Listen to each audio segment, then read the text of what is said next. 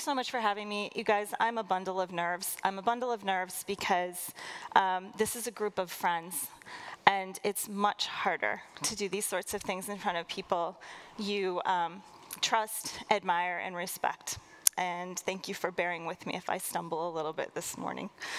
Okay, first of all, before we talk about babies, um, I'm just going to say I took one for the team here. I am not in this photo to tell my kids I was with Han Solo and MC Hammer because I'm taking this picture, and Daniel Kraft, you owe me. All right, there we go. Okay, I'm starting with um, this photograph of my grandmother, Anna, and my dad as a newborn. My grandmother had rheumatic heart disease as a baby. It was the most common and deadly um, disease of childhood in the time, so probably in the mid 1800s on through about 1940. My father also had rheumatic heart disease as a child. It took him fully a year to recover from that. And 19 years later, he joined the US Navy and was uh, an engineering brain already. He was assigned to a heavy aircraft bomber doing the sonar work. So they would drop depth charges in and mini bombs and listen. They were looking for submarines. He was stationed in Panama, and the Panama Canal was the US most prized asset at the time, and so they needed to make sure nothing was going to come around and take it. And um, the, the charges that they would drop and the listening tools that they would drop had to be able to be heard from a plane that was flying far above the ocean. And when my dad told me this story about a year before he died, I was just like, my dad's like totally like Hunt for Red October. This is amazing. I never knew this about his background. And really, that work in the military predates modern medical ultrasound by less than a decade. So it really was laying the foundation for how we ping a piece of sound into something, we listen for what comes back, and then we can actually visualize what comes back. So, um, a few years later, in 19, well, actually, the same year, um, this is when my grandmother, at 44 years old, became Dr. Walt Lillehei's third patient on the heart lung machine. This is Minnesota innovation that we still talk about in my great state, which is Medical Alley, of course. So I feel really privileged to live there. But that surgery bought her four more years of life. Four more years of life. That was remarkable at the time. And so um,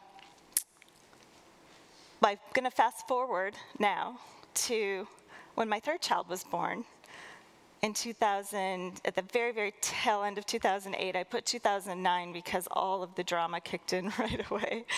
But um, she had a perfectly um, normal coming into this world. I had a completely uneventful pregnancy. Oh, by the way, before I forget, Daisy's here.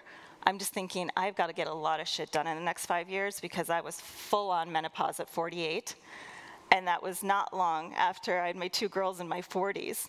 And her data was like a remarkable thing to see and, and, and learn about because I've been in a hot flash for five years now. But this experience um, of having a, a, baby that looked perfectly healthy, you're celebrating everything about having that baby, um, kind of crashed and burned right before discharge. The rounding pediatrician heard a little bit of a murmur which is very common in newborns. I would say um, about 20% of babies have them. And so they're usually just followed up at the one week well visit. That was what our pediatrician was going to do send us home for um, a normal schedule, and they'll check up on it then. She came back 30 minutes later and said she had heard that there was a pediatric echo cart, one of those big machines that gets rolled around in the big hospitals, that had been brought over to my delivery hospital with a technician that was trained in doing newborn ultrasound. And that um, was there to look at another baby. And she's like, it's already here. I don't want you to worry. You're a new mom. You don't need the stress. Let's get even there to take a look. And an hour later, there was a cardiologist standing in our door telling us our daughter was in heart failure. I remember clearly telling him he was in the wrong room, that there was another baby in the hospital he needed to be talking to, and he said, No, it's not another baby, it's your baby. So she had to be moved immediately by Lifelink Transport to a um, Children's Hospital. Fortunately, we have three heart centers in Minnesota, two of which are in the Twin Cities, and the other is Mayo Clinic. Clinic. So it was not a difficult transport, but it wasn't a blizzard and it was 10 miles. And the prep they have to put a newborn through to go on a lifelink is quite something. Um, and she didn't do well. That first week was a tough go. We talked to the surgeon, we talked about putting her on the transplant list. Her heart was three times the size it should have been. That was when we were being discharged to home, and she looked perfectly normal. And so, if you can imagine what that's like for any family experiencing uh, the new and the novel about a diagnosis, um, it was earth shattering, and we didn't know which way was up. We didn't leave the hospital. I had another baby at home. My kids are only about 15 months apart. And um, we waited and talked to the doctors every single day to figure out what we should do next and try to get a formal diagnosis of something more than just heart failure. So her mitral valve was defective. It didn't, um, the chordae attaching that leaflet didn't, didn't grow properly, so it couldn't open and close properly. And mitral valve de defects in children are actually very, very rare at birth.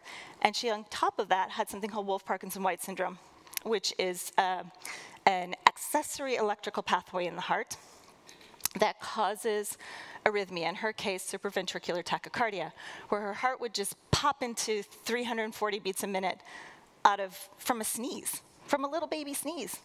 And this started happening around the clock, 24 hours a day, and her heart needed to be shocked back into rhythm um, from her uh, lines, which were feeding her body with adenosine. So she was on about nine different medications around the clock to keep her heart functioning.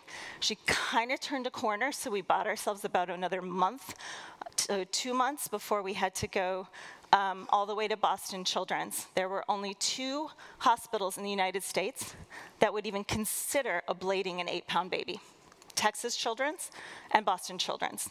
And there was only two places that would consider operating on that mitral valve on such a young child.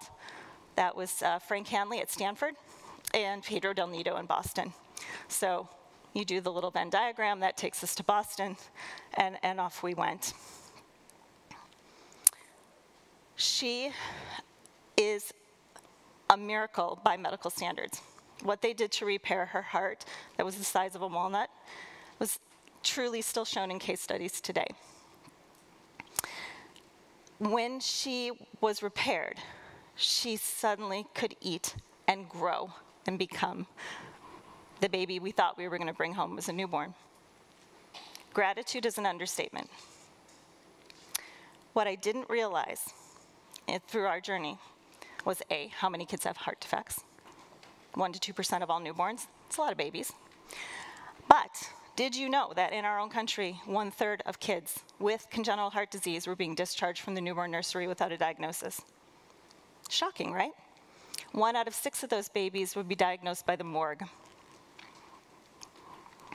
I went to many funerals that first year of babies in coffins the size of shoeboxes what we did with that was take our journey to um, the federal level after pulling together a, a pilot study among six hospitals in Minnesota to look at whether newborn pulse oximetry screening could be a tool for every baby in the well baby nursery to flag heart problems. And a year later, the Secretary of Health and Human Services decided that every baby in this country should be screened for heart defects before they leave the hospital.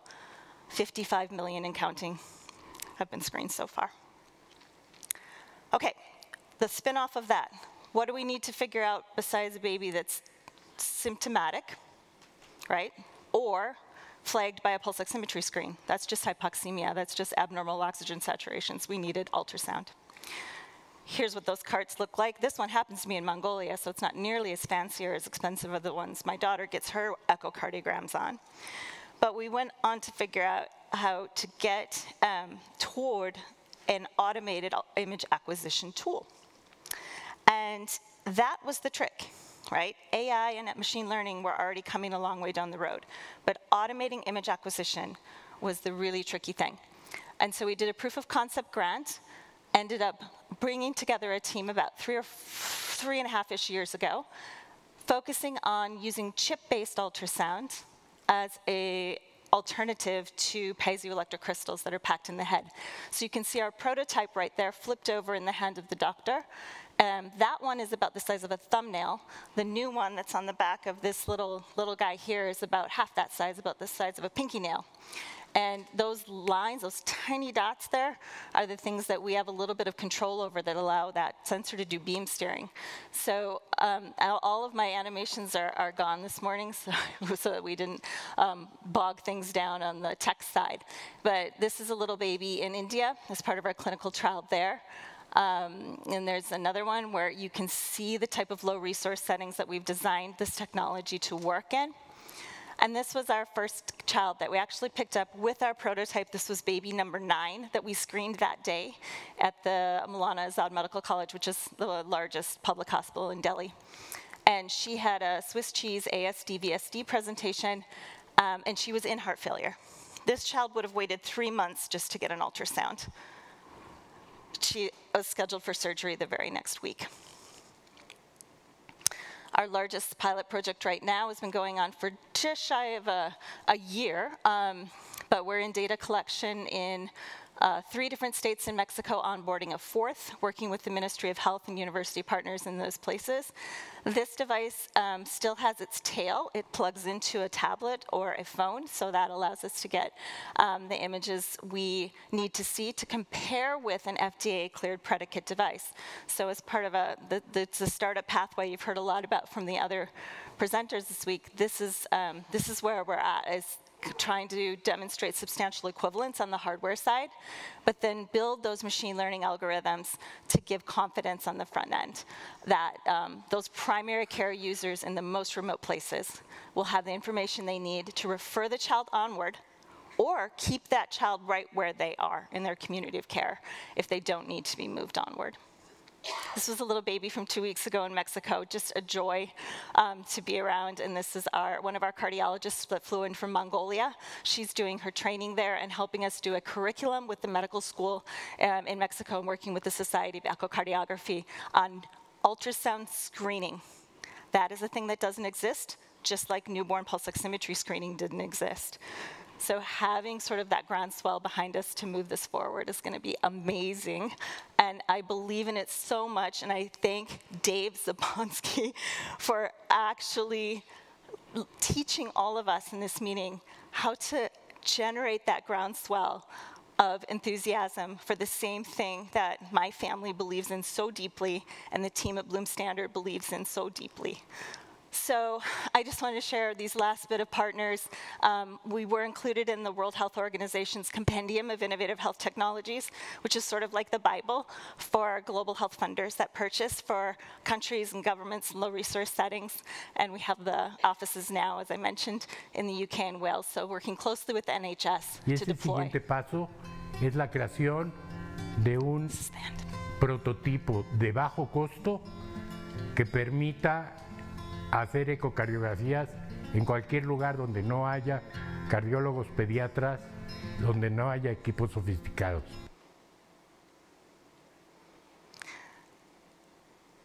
That is the goal, to get to where there is nothing now. And believe it or not, 95% of the children in our very own country don't have access to ultrasound in their local communities of care. They have to go to the children's hospital or a large academic center to get that scan. We're trying to solve that problem. I'm grateful every day that my daughter had access to the diagnosis and the treatment she did. Every child deserves that same opportunity. I would like to acknowledge that one of the reasons I'm hugely nervous today is because my children are here, including my daughter Eve. So this is her artwork, and just know it is worth it. All of it is worth it. So please, please keep doing what you're doing. If there's anything that I can share more with you with my little baby and my little prototype afterwards, I'm happy to do that. Eve, would you mind just standing up at least? You don't have to come up here if it's going to freak you out, but at least stand up for us because I'm so proud of you.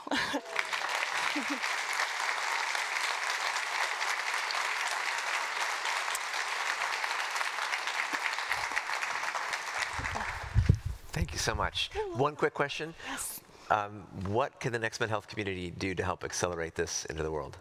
Oh boy, you haven't heard this before. We're fundraising. So yeah, there's that. Um, look, we're we're so blessed to have the sorts of research partners that we have around the world. Um, it's one of the things we don't struggle with is looking for like clinical trial sites and clinical validation sites because we have so many strong partners there. But on the tech side, um, on the, the the partnerships with um, the sensors and manufacturing. I mean, all of this is the pre-commercialization stage for us, which is so critical. And I'm telling you, if you don't have enough resources to pay your engineers to get to the next milestone, it'll kill a company. So we'd appreciate your support or your ideas. Great. Find her. Thanks.